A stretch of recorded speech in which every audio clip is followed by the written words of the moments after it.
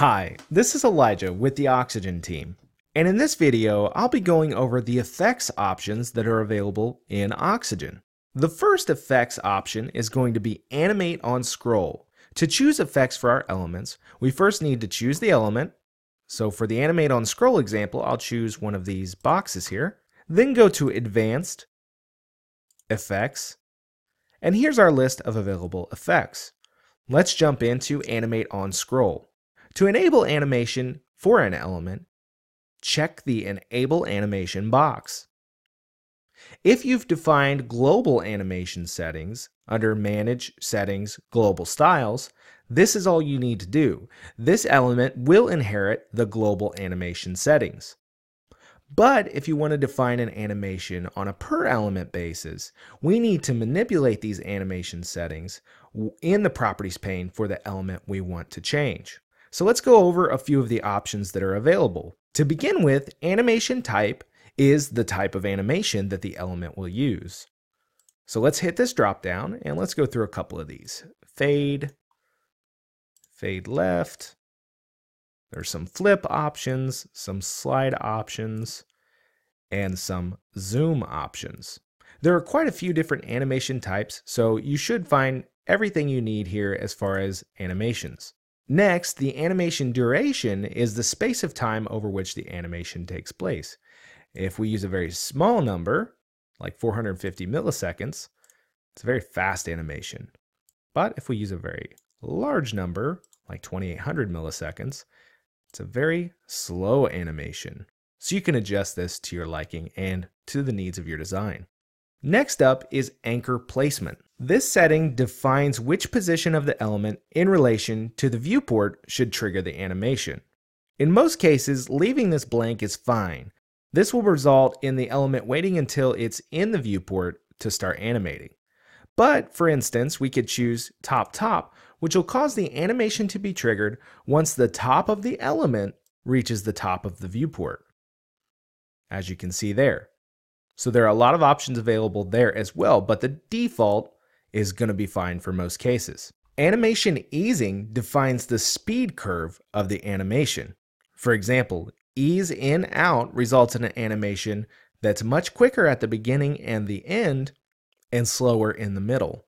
So if we choose something like slide left, you can see it starts fast and then slows down as it reaches its destination. The animation trigger offset setting will allow you to define an offset of the animation trigger point in relation to the viewport scroll position in pixels.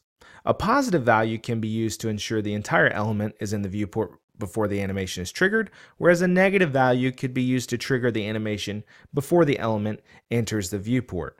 So for example, let's choose top top as our anchor placement, which means it won't animate until the top of the element reaches the top of the viewport. And then let's add a 100 pixel trigger animation trigger offset here. And then let's scroll to see the effect.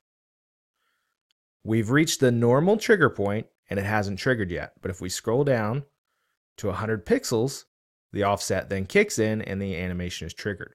So you can use a negative or a positive value to adjust when the animation is triggered in relation to the viewport position.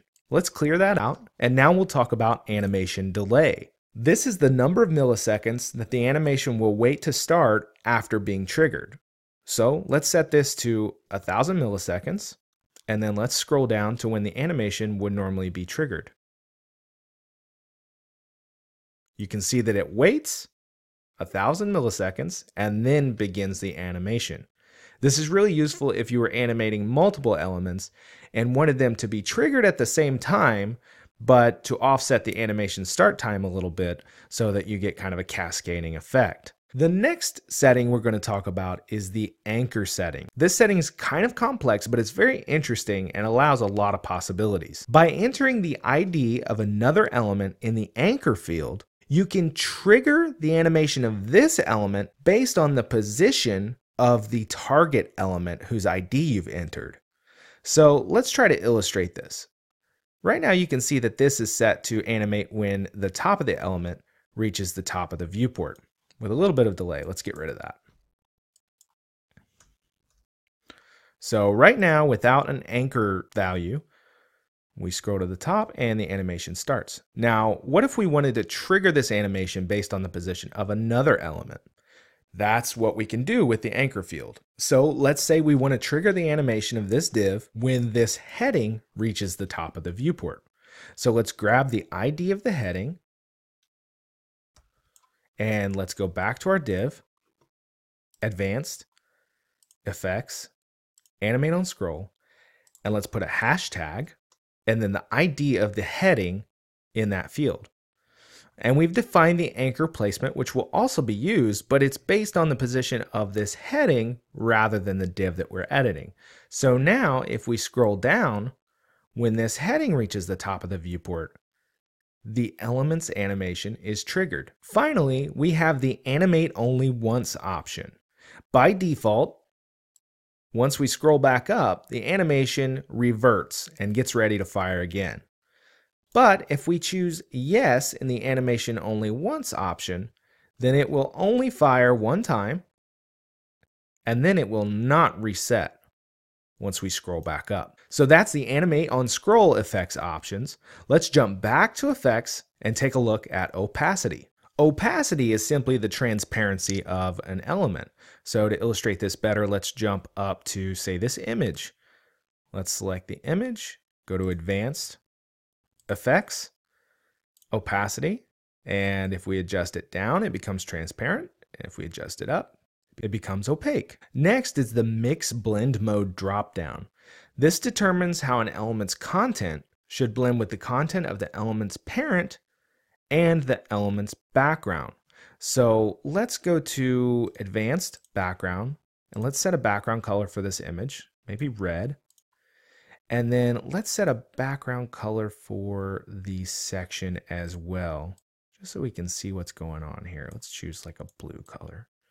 Perfect. Now let's select the image and let's go to Advanced, Effects, Opacity, and Mix Blend Mode. Now there's quite a few options, so we'll just go through a couple. You can see the effect here. It allows it to kind of blend with the background of the parent. Screen, overlay, color dodge. Now this image in particular has a white box around it. This would look much better if the image was actually cut out like a lot of uh, modern illustrations for websites are. Hue, that looks terrible. Let's move to something else. Color, there are a lot of uh, weird ones that you probably will never use, but there are uh, they're there as options if you need them. So as you can see here, the mix blend mode allows you to manipulate the way the element blends with the parent element's background. Next, let's jump over to transition. So transition is a CSS property that allows you to cause a change in the element's properties to take place over a period of time. This is commonly used for hover effects. So let's jump down to something we can hover over. Uh, let's just choose this image and let's go to advanced effects transition. And let's just pump the transition duration up to one second. Now, obviously, we're not going to see any change until we have some change that takes place. Now, again, the most common use of this is the hover effect. So we're going to have the image selected, go up to the state button near the top of the properties pane and choose hover. Now let's go back to opacity and let's change this element's opacity on hover to almost completely transparent. And then let's go back to the original state. So now you can see when we hover over the element, it transitions in transparency rather than just jumping to almost completely transparent. This is very helpful for menu items and links and anything that you want a much smoother transition for. Now, if we look at the other options that are available, these are all CSS options, and I'm not going to go um, into a lot of detail, but these allow you to adjust the properties and the way that the transition takes place. Next, let's take a look at box shadow. So let's find a good element here. This one already has a shadow, but let's let's choose this here um, this div and go to advanced effects, box shadow. And this allows us to add a drop shadow effect to elements in oxygen. So let's choose a color like black to make it very apparent. Then we can adjust the horizontal offset, the vertical offset, the amount of blur, and the amount of spread. So we could do something like a, uh, a very small spread, decent amount of blur, little bit of offset, and then change our shadow color to a more transparent color to make it a softer shadow effect. So there you can see a nice drop shadow effect that we've set up very quickly. Next, we're going to look at the text shadow effects. So let's choose this heading here and go to Advanced, Effects, Text Shadow. This is the same as box shadow, but it's for text.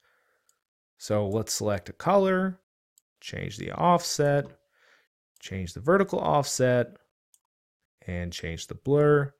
As you can see, we have the same controls, and it's very simple to set up a, a nice text shadow effect. The next one we're going to look at is a filter effect. So let's add an image to this section. And I'll choose one I've already uploaded that'll make the effects a little bit more apparent. Um, so with an image selected, we'll go to Advanced Effects and note that filters available for any element in Oxygen. It's just that images are the most common use case. So let's choose Filter. And Filter has a lot of different options like blur. We can change the blur amount, brightness, contrast, grayscale, hue rotate, kind of a crazy effect, invert, saturate, and sepia. Finally, let's jump back to effects and take a look at transform. Transform allows us to manipulate the properties of an element in a lot of really interesting ways, like skew, translate, rotate, rotate X, rotate Y, perspective, rotate 3D, and scale. Let's start with skew, a very simple skewing effect along the X or Y directions. We've also got translate, which actually changes the position of the element. and we've got rotate. Rotate X, kind of a 3D rotation effect. Rotate Y. Perspective, which is kind of an interesting one because you won't actually see any effect until you actually add another transform which oxygen does allow you to layer transforms, and you go to something like rotate. So we've added some perspective and we're going to rotate, uh, say, X here. And you can see there is a perspective effect for sure. Um, this is very dramatic for illustration purposes, but I'm this can be used much more subtly for some really interesting effects. So let's jump back up here and look at rotate 3D.